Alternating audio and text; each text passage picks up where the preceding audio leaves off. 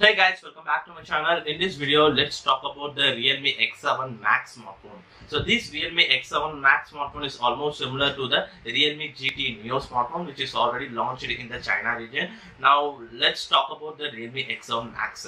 So this Realme X7 Max is, comes with a 6.43 inch Full HD Plus Super AMOLED display and this display has having a 2400 1080 pixel resolution and it is having a up to 120 Hz of screen refresh rate support. Uh, this display is uh, based on a punch hole style design and inside the punch hole you will get a 16 megapixel of your selfie camera and moving around to the rear side. So in the rear side it is almost similar to the Realme X7 uh, configuration. So it has a triple camera setup having a 64 megapixel Sony IMX682 camera sensor as a primary camera. In addition to that 8 megapixel ultra wide angle and 2 megapixel of a macro sensor will be equipped.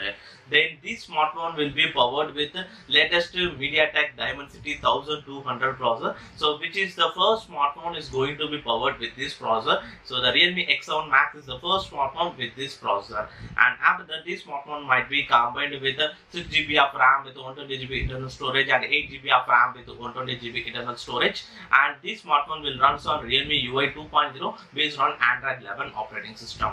And in terms of security measure, so this smartphone is supported with the in-display fingerprint scanning and the face unlock support. And finally, this smartphone will be powered with 4500 mAh of battery with 50 watts of charging support.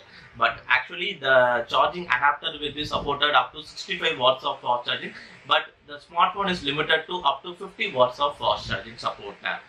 Well, overall, these are all the specs and features of the upcoming launch of the Realme X7 Max smartphone. So, this smartphone is the upgrade of the Realme X7, which is already launched in India and it is priced around rupees 20,000 price segment.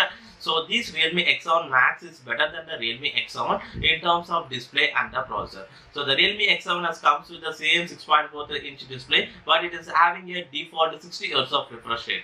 But the upcoming Realme X7 Max comes with the 120 Hz of screen refresh rate in addition to that and the processor the Realme X7 is also a both the Realme X7 and X7 Max are a 5G based processor. So the Realme X7 is having a Dimensity 800U processor, but the upcoming Realme X7 Max is coming with a Dimensity 1200 processor. And there is a one more changes that is the design. And compared with the Realme X7 and Realme X7 Max, in terms of design, there is a lot of uh, changes in design when compared to Realme X7 Max. The Realme X7 Max's design is totally different and it also looks quite good and it will be most favorable for uh, most of the users. So in terms of design, Realme X7 Max is too good.